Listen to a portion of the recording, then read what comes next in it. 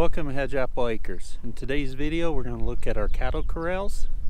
Hope you stay tuned.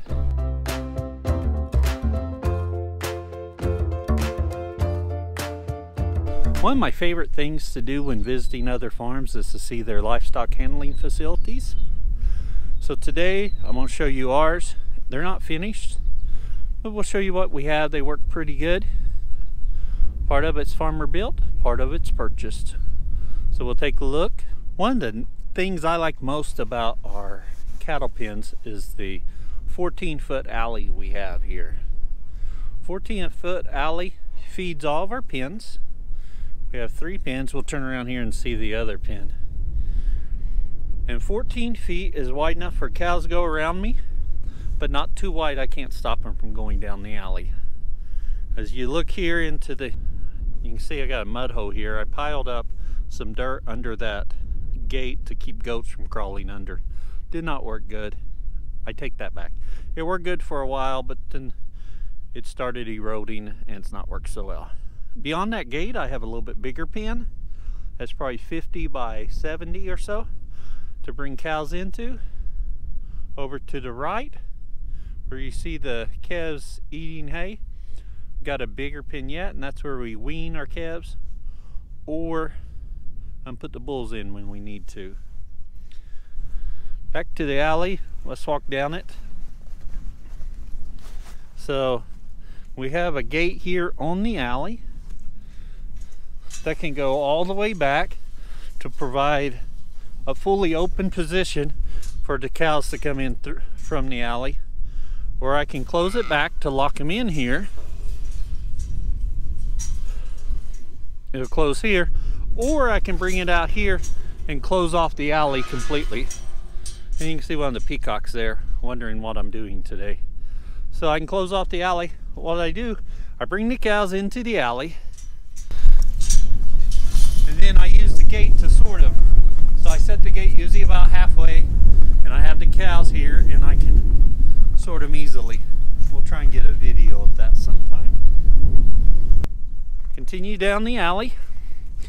Got another pin. Each of the three pins here are about 45 by 45. And what I like to do is fill the end pin, sort out what I need to, and just work down by sorting. Let's take a break and look at the peacocks. Their tail feathers have grown out really good. Those are my two males.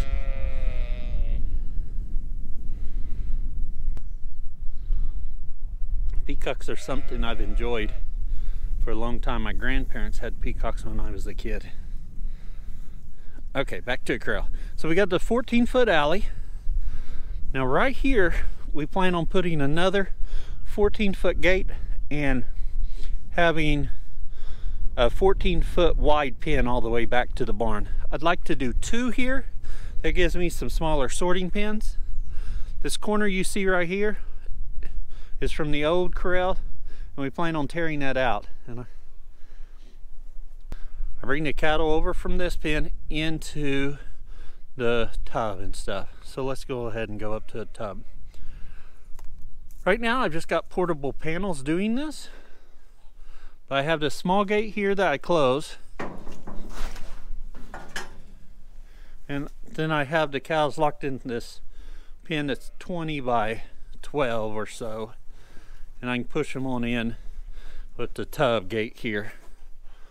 One thing I like to do is have the heifers and cows go through here when we're not working them so they get used to going through here without much pressure.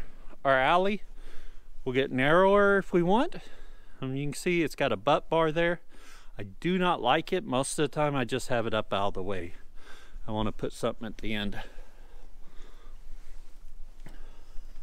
As you come through here, the the scales is here or the the chute for the scales. Currently I have the scales out so I can weigh the three and one feeder. We've got a drop gate there. Come over here. So we got the scales with a palpation cage behind it. Lets me get in there if I need AI something or do other palpation. Works really good. Then we have our head gate here that work through.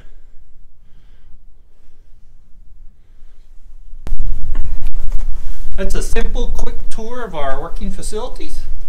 We'll try and get some cows in there for another video. It works really well. We still have a lot of work to do on it though. Oh, one thing I didn't show you, but let's go back and look. I did not show you, let's just, one thing I didn't show you was when they come into the tub, uh, we have we load them into the or into the stock trailer right here. Gate pushes back and we can back trailer up and go in. Allows us to load them without being in the pens. Um, our, our cows are fairly calm, but sometimes you get those 800 pound steers, they get kind of nervous. As always, thank you for watching. We appreciate you. And we encourage you to click the like button and subscribe. We'll be seeing you more.